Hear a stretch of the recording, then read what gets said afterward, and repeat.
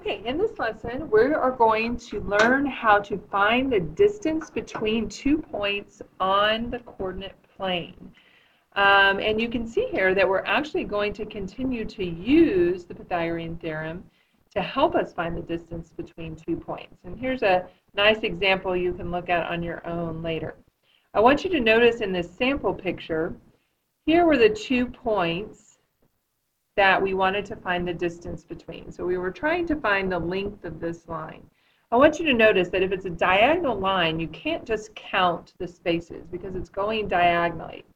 But we can draw a right triangle between those two points and then use that information and the Pythagorean theorem to find the missing side. So let's look at the first example. So I've given you the two points, 1, 1 and 6, 3. We already have our line. I can't count this. I can't count this to find the length. But I can draw a right triangle. Now, the, one of the trickiest parts on this is we have to make sure we're drawing a right triangle. So we got to keep everything straight. So I have here, it's even with the other point, and I have here. If I wanted to draw my triangle up above it, I could do that as well. Now the reason we draw a right triangle is if we have vertical and horizontal lines, we can actually count our units. So this would be one, two units, and then this one would be one, two, three, four, five units. And so now, when we look at our right Hopefully you're noticing that we know sides A and B. So A is 2, so we're just filling in our formula. I'm going to write it down just to remind you.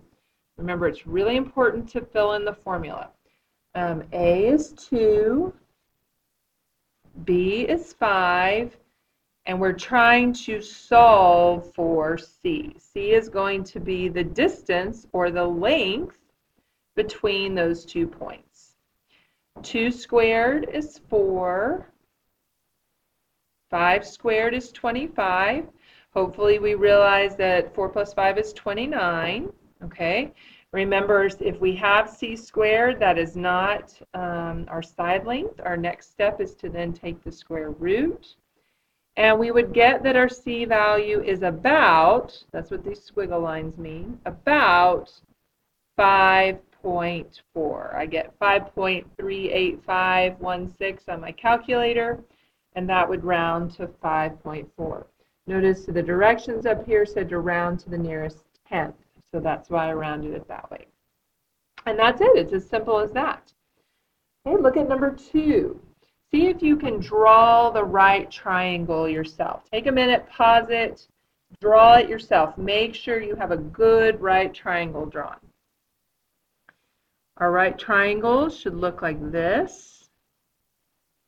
Okay. And then again, we're just counting our units. Okay, our A value would again be 2.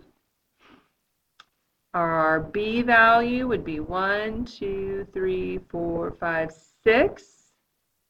And again, we're just looking for our C value. Here is our right angle. We're looking for our C value. So 2 squared plus 6 squared equals c squared. And um, you should be able to solve it from there. You should know what to do. 2 squared is 4. 6 squared is 36. 4 plus 6 is, I mean, 36 is 40. And then remember our last step, if we're looking for a side length, is to take the square root. When you plug in the square root of 40, um, if you um, round it to the nearest tenths place, you should get 6.3. Okay, I want you to try the next problem on your own. Okay, I will tell you, even though our graph is going the other way, we still can draw our triangle just like that. So I want you to count your units and see if you can do it. Pause your video when you um, get your answer, raise your hand, and have me come check it.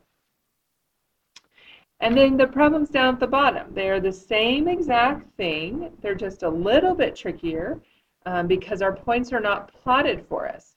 And so I just want to remind you in an ordered pair, the first number represents x, the second number represents y. So if you need to label your points to help you remember, do that. So the first thing I would have to do is plot my points. I've got x is 4, so 1, 2, 3, 4. y is 5, 1, 2, 3, 4, 5. So here's my first point. 0, 2, I start in the middle, 0, and then I would just go up 2. So here is my line um, that I'm trying to find the distance between. So now I would draw my right triangle. Down and across. And again, I'm going to count my sides. One, two, three. One, two, three, four. And again, I'm going to fill in the Pythagorean theorem with my information. Okay, this would be 9 plus 16, which is 25. And then our last step is to take the square root. And so we would get c equals 5. Okay, let's look at the next two. I'm going to help you make sure that you've plot your points correctly. So again, I'd ask you to maybe pause the video, see if you can plot your points and draw your line, um, and then turn it back on and make sure that you've plotted your points correctly.